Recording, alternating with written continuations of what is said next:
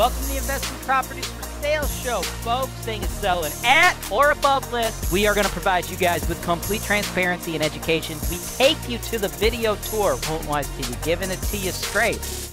Ooh, boy, do I got a treat for you folks today, man. I got a freaking treat here, okay?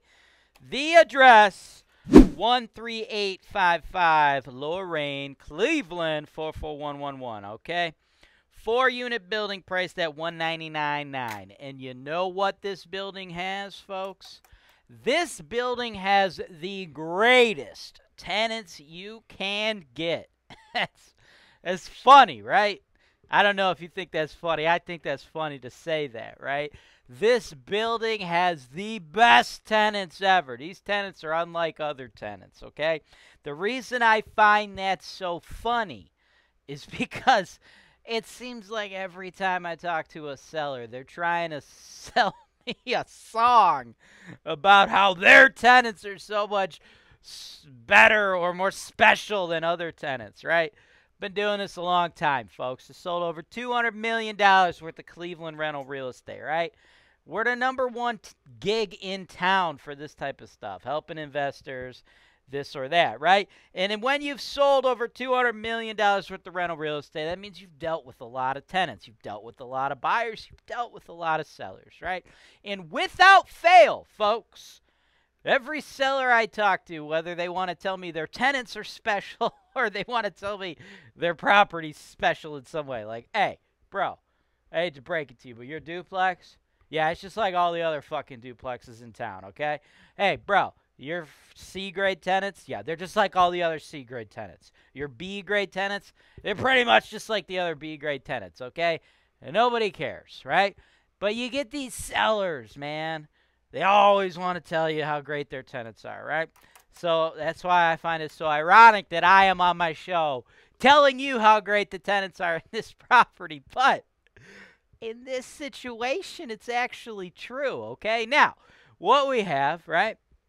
It's just a regular run of the mill mixed use uh, apartment building in Cleveland, okay? There's two two ones, right? Two residential units. Nothing to see here. Nothing special, nothing fancy, bro. Just like every other friggin' 2 1. No big deal. As far as the retail goes, right? It's technically two units right now. It's been combined dude's renting it for twelve hundred total, right? He's running a little little corner store, grocery store action, right? Ain't nothing special about that grocery store, okay? That's not what I'm trying to say here, right? So normally you get a mixed use building and we're gonna sell it around the two hundred or so thousand dollar price point, okay?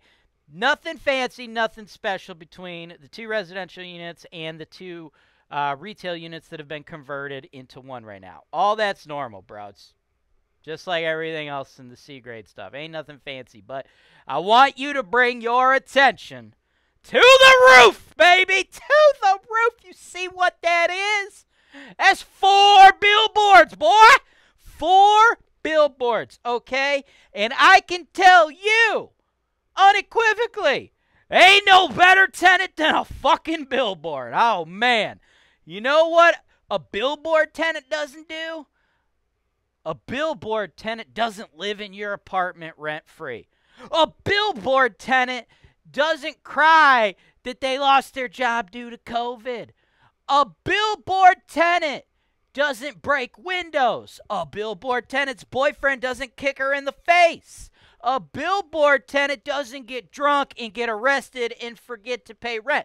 A billboard tenant doesn't kick a hole in your wall a billboard tenant doesn't bring in bed bugs. I don't need to continue to go on. You get the point. A billboard tenant doesn't call you to complain about the neighbor's noise. All right, that was the last one. But you get the point, okay? These are all things billboard tenants don't do. Billboard tenants don't cost you any money, right? Other tenants, they bring in revenue but guess what? In exchange for that revenue, they bring in costs, they bring in management duties, things of that nature. Billboard, no. That's pay and play, baby. They kick in money and you just keep it, dog. That it. They don't use electricity. They don't use this. They don't use that. Bill, well, actually, Uh, they they may be using a little bit of uh, like common electricity. Now that I think about that, I didn't look at them too close. If there's lights there, they would they would use a little electricity, right? But they don't use gas. They don't use water. They don't use internet. They don't do this. They don't do that, right? They don't bother you, okay? And we got a huge upside here, right? Because uh, for those of you that have never actually uh, rented billboards out before, right? Uh, I mean, you could do it two ways. One way is the way you should do it, and the other way, I mean, unless you understand marketing and, and running a billboard advertising agency, uh, it's not the way you want to do it, right? What what most folks do, what most landlords do, what we would encourage you to do, because unless you're a friggin' ad executive, it's the only thing that really makes sense, right? You would rent all four billboards to an ad agency, right? Like somebody like Clear Channel, right? Huge company, right? And then from there, they will sell the ad space, right? So uh, that's what this particular owner did 20 years ago. It was a 20 year lease at $312 a month. Now, with current rental rates, uh, I'm guesstimating that Clear Channel is probably charging like between seven hundred and a thousand dollars a month on each of those billboards, right? So, if, uh, or, or our company like Clear Channel, I'm not 100 percent sure if it was actually Clear Channel, uh, but they are the largest company doing billboards uh, in our market, right? Uh, so I'm not sure, right, if they're exactly what they're charging at the moment to their end customers. But let's say a company uh, was charging a thousand bucks a billboard, that means they're bringing home 4K a month, right, to sell ad space on the billboards on your building, right? So 312, that contract's now expired. It's on month to month. It's time to get down and renegotiate, right? So what would be reasonable for us? We could possibly get the contract as high as a thousand dollars a month, right? Assuming they're ripping off 4K a month, we could probably get them to give us close to a thousand, right?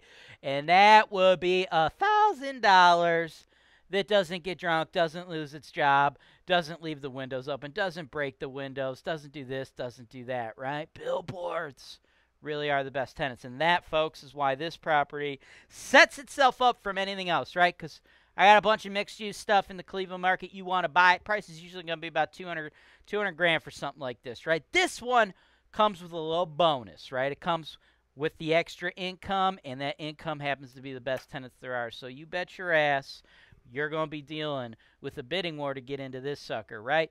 Cash offers are preferred. We will accept commercially financed offers. If you want to take this sucker down, send my team an email, sales at holtonwise.com. If it's cash offer, include your proof of funds.